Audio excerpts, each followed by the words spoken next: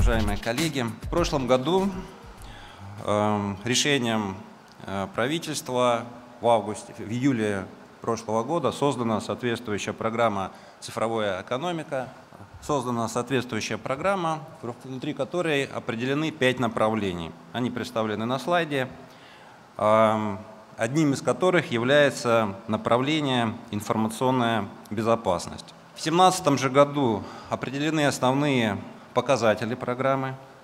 А некоторые из них представлены на слайде, а также определены Центр компетенций э, информационная безопасность, руководителем которой является Станислав Кузнецов, заместитель председателя правления Сбербанк. И определена рабочая группа по информационной безопасности, руководит которой Наталья э, Касперская. Собственно, прошел год. Вот я хотел бы немножко рассказать, как мы двигались, где мы сейчас находимся и, ну, собственно, какие ожидания э, есть от реализации этой программы. Итак, мы, э, став центром компетенции, пригласили, э, ну, по сути, весь рынок, всех, кого знаем. А сейчас двери по-прежнему открыты. Если кто-то уч... имеет желание поучаствовать на экспертном уровне, добро пожаловать, обращайтесь. Эм, мы собрали всех экспертов, вот около 300 специалистов из разных областей. Это и коммерческие компании, научные центры, и силовые структуры, эм, ну и различные общественные организации. Эм, программой определено 16 направлений. Мы их немножко сузили, сгруппировав соответствующие группы, показанные на слайде, и Э, провели такое широкомасштабное обсуждение тех проблем, которые ну, собственно, волновали экспертное сообщество.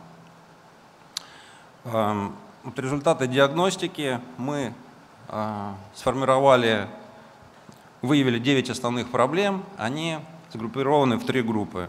Ну, в общем-то, они достаточно очевидны, тем не менее.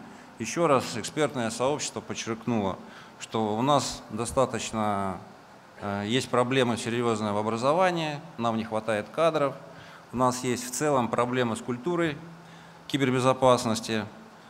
А, ну, про кибербезопасность чуть позже скажу, несмотря на то, что термин у нас официальная информационная безопасность, мы, его, мы активно говорим про кибербезопасность.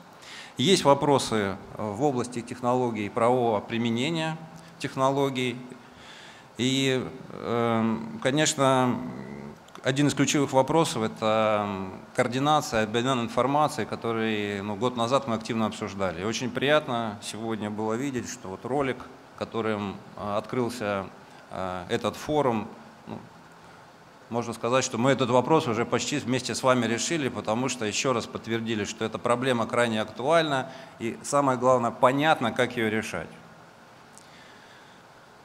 Э, что мы имеем на сегодня?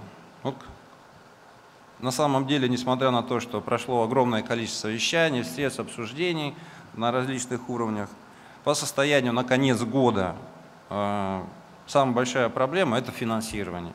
Сегодня 0 рублей доведено до исполнителей. Собственно, мы имеем задержку в выполнении программы практически ровно на один год. Тем не менее, положительные стороны нашего движения. В этом году направление информационная безопасность в рамках программы эм, цифровой экономики в соответствии с так называемыми майскими указами президента э, была. Э, переделана в федеральный проект. И в рамках трансформации проекта Э, произошло очень две важных вещи. Первое, произошло укрупнение мероприятий. Сегодня их не 390, как было, а 140. И э, в августе, в сентябре этого года шла большая работа по дополнению э, программы э, наиболее, э, скажем так, потребными задачами, которые оценило экспертное сообщество в течение года. А, вот, вот эти вот новые вещи, которые, э, задачи, которые не вошли в начальный план, э, показаны на слайде. И я хотел бы обратить внимание, что в начальном э, своем состоянии, когда экспертное сообщество приступило к наполнению мероприятиями некоторых исходных данных, выданных правительством, мы имели, по сути, только план по вехам, который нужно было наполнить конкретными мероприятиями. В августе этого года в исполнении, опять же, майских указов была предоставлена возможность кардинально пересмотреть план. Прошло ряд совещаний с участиями федеральных органов исполнительной власти по, собственно, пересмотру этого плана.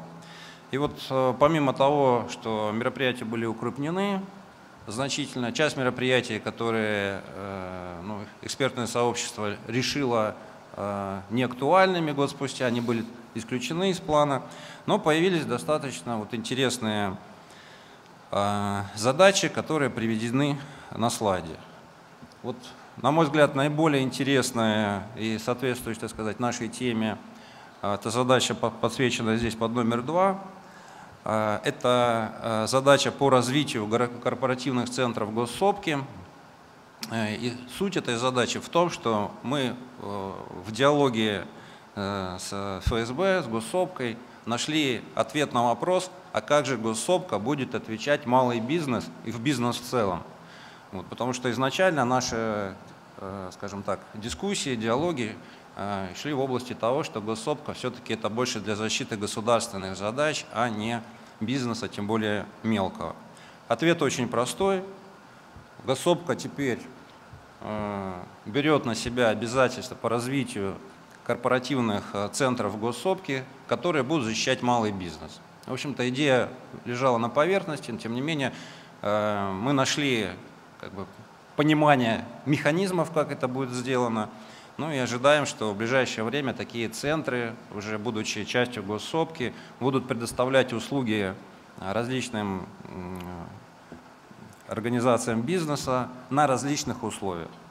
Кто-то будет на этом зарабатывать деньги, кто-то бесплатно, кто-то будет представлять продукты, кто-то будет одни продукты а, на коммерческих условиях предоставлять, а, какие-то в интересах вот, реализации функционала госсобки бесплатно, это как раз будет отдано рынку.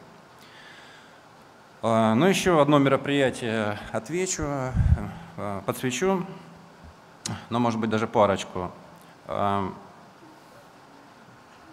А, неоднократно мы в взаимодействии с правоохранительными органами отмечали, что на сегодняшний день от киберпреступлений, от, от кибермошенников гражданам некуда обратиться. Ну, процедура стандартная, это заявление в полицию, но мы знаем, что сама процедура достаточно медленная, и, конечно, цифровых а, преступников поймать очень сложно. Вот, поэтому было предложено создать такую платформу на ресурсах МВД, где любой гражданин может подать заявление в электронном виде, указав все необходимые реквизиты скажем так, цифрового мошенничества, условия, э, э, условия, при которых оно произошло, что позволит э, создать некую базу признаков телефонных номеров, IP-адресов и других атрибутов, которые позволят иметь аналитику нашим правоохранительным органам. Это никоим образом не отменяет все, что было сказано